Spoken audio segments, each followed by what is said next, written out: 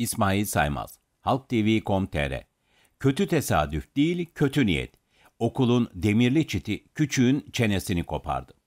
Türkiye İstatistik Kurumu'nun geçen ayki tüketici fiyat endeksine göre en yüksek fiyat artışı eğitim harcamalarında gerçekleşti.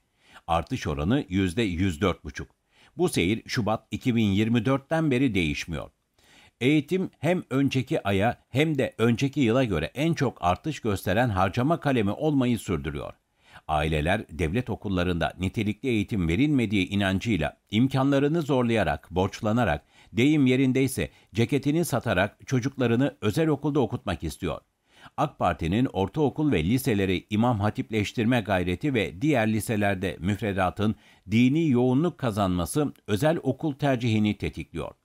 Şu an özel okul ücretleri 300 bin TL'den başlıyor. Yabancı liselerde servis, kitap, kırtasiye ve yemek eklendiğinde fiyat 1 milyon TL'yi geçiyor. Dudağından çenesine kadar koptu.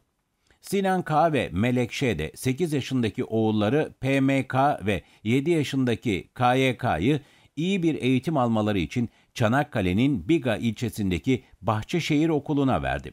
KYK geçen yıl 3 Kasım'da teneffüste okul bahçesinde oynarken eğim verilmemiş şekilde dik duran sivri çit demirine tırmandı. Ayağa kayınca demir KYK'nın çenesine saplandı ve dudağından çenesine kadar ki dokuyu kopardı. Çocuk olayın şokuyla dokuyu alıp öğretmeni Atakan Değirmenci'ye koştu. Değirmenci ifadesinde şöyle diyor. Yerde doku parçasını gördüm. Çocuklar etkilenmesin ve dokuya zarar gelmesin diye çocukları uzaklaştırdım. Dokunun başında bekledim. Okul hemşiresi gelince dokunun nakli için hazırlık yapıldı. 4 dakikada hastaneye getirildi. Türkiye'de ilk vaka. KYK bir kap içindeki çene dokusuyla birlikte Uludağ Üniversitesi Hastanesi'ne getirildi. 16 saat süren iki ameliyata rağmen doku tutmadı. KYK 14 Kasım 2023'te vücudunun çeşitli yerlerinden alınan dokular çenesine takıldı. 46 gün burnundan sıvıyla beslendi. Bu yüzden 28 kilodan 20 kiloya düştü. Baba Sinan K. bu kazanın Türkiye'de ilk örnek olduğunu, dünyada 7-8 vaka görüldüğünü kaydediyor. İlk raporda okul kusurlu bulundu. Aile suç duyurusunda bulundu. İki müdür ve öğretmenler hakkında taksirle yaralamaya neden olmaktan soruşturma açıldı. Okul müdürü Musa Çetin, okulumuz faaliyete başlangıç için gerekli tüm mimari ve teknik onaylar Milli Eğitim Bakanlığı'ndan alınmıştır diyerek kendilerini savundu. 20 Mart tarihli ilk bilirkişi raporunda müdür Çetin ve ilkokul müdürü Emine Ergin Asli, nöbetçi öğretmenle iş sağlığı ve güvenliği uzmanı tali kusurlu, KYK kusursuz bulundu. Raporda şu ifadeler var. Kullanıcıların büyük çoğunluğunun çocuk olduğu göz önüne alınırsa, zeminden çatıya, merdivenden duvara, kapıdan cama kadar her alandaki tehlikelerin öngörülmüş olması ve giderilmesi beklenirdi. Kurumun tehlikeli durum oluşturabilecek hususları tespit edip gidermesi gerekirdi. KYK 8 yaşındadır. Çocuklar koşturur, sürekli hareket halindedir. Bu onların doğasında vardır yetkililerin öngörmediği tehlikeyi analiz edebilecek yaşta değildir. Kötü tesadüfmüş. 5 Ağustos'ta ikinci bir bilirkişi raporu hazırlandı. Fakat raporda sahtekarlık yapıldı.